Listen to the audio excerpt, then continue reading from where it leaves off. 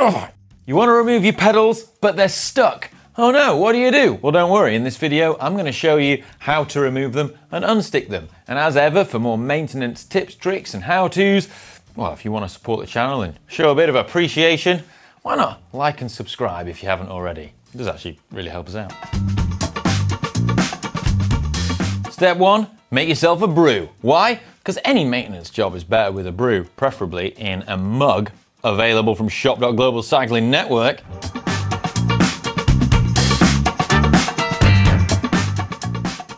Next, to remove your pedals, you're going to need either a Allen wrench, such as this. Now, usually on most modern pedals, it's an 8mm Allen socket on the inside of the pedal, or on older pedals or some other different designs, you're going to want a pedal spanner. You can also use an adjustable spanner or wrench like this, but a dedicated pedal spanner is really good because they're usually the correct width 15 millimeters, which is the standard for most pedals, and they are designed to give you optimum leverage.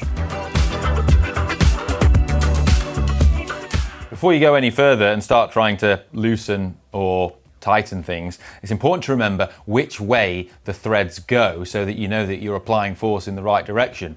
This is important because the threads on pedals are actually reversed, they're opposite. This is so that when you're pedaling, neither pedal comes undone and loosens itself. So the right hand side pedal, the drive side pedal, that tightens in a clockwise uh, direction, whereas the non-drive side pedal, that tightens in an anti-clockwise direction.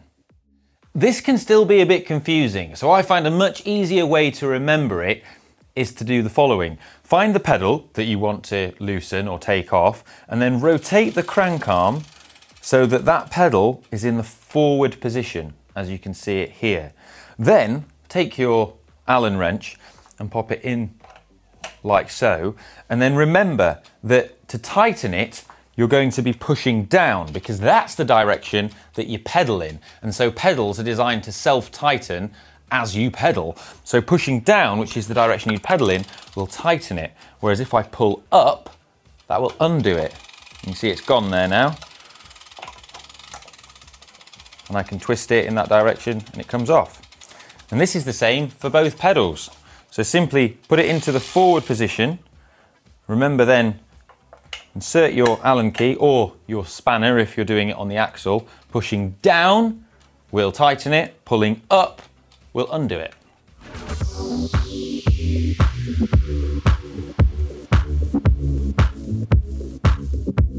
Now, I appreciate many of you may have known all that already, but just in case you didn't, I wanted to make sure we cover that off first so that people aren't doing that thing of actually tightening their pedal even more when they're trying to loosen it.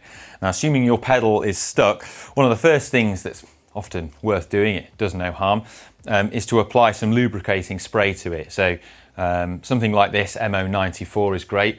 A lot of these kind of sprays contain PTFE, but one of the things I like about this one is it's biodegradable. It doesn't contain PTFE, much better for the environment. So a little bit of that on there often helps proceedings.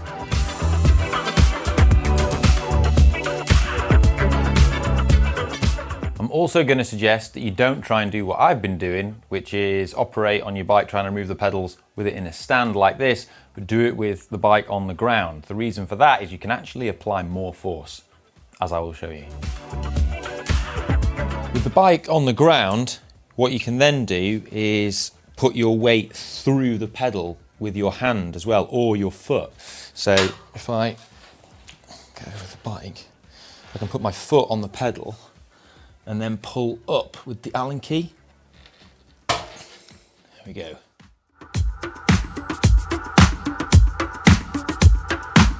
Now, alternatively, if your pedals aren't designed to be undone with an Allen wrench, then you can use a pedal spanner, usually on the gap just on the outside of the pedal before the spindle begins. Now, a dedicated pedal spanner such as this is a great tool because you'll notice that it has these two notches that are in different orientations. And this is so that you can get the pedal spanner in the optimum position to exert maximum leverage. And so that is like this. If you have the crank once again in the forward position and then you apply the pedal spanner to it so that the pedal spanner is facing backwards along the length of the crank. And then simply by pushing down on it, and again, you can put force through the pedal either with your hand or your foot, push down and it's undone.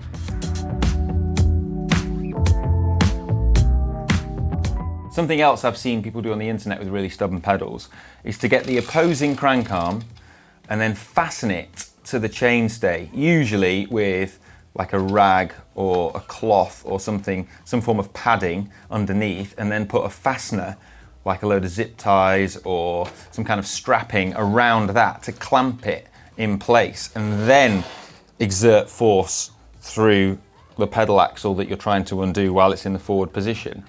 Now, in my experience, I've never had to do this, and I would be wary of doing this, particularly on a carbon frame. On a steel or aluminium frame, perhaps, maybe you could get away with doing that, but I think it's a pretty extreme thing to have to do.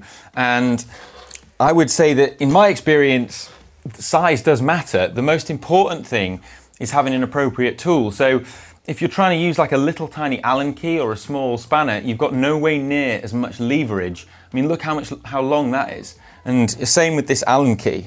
And again, this is a proper workshop Allen key, and you can see it's quite a bit bigger than the average 8mm Allen key, but that means you've got that greater leverage to really undo the pedal.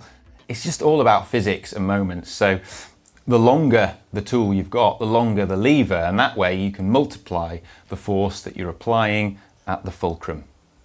And yes, I am fully aware of all the double entendres in this video. Sorry, but not sorry.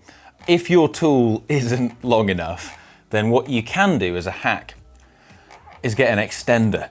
So you could simply get, say, a tube um, or a piece of pipe and then use that over the top of your uh, like existing tool to just lengthen that lever and make it longer, give you more leverage, and then you're applying more force at the point at which you're trying to undo the thread.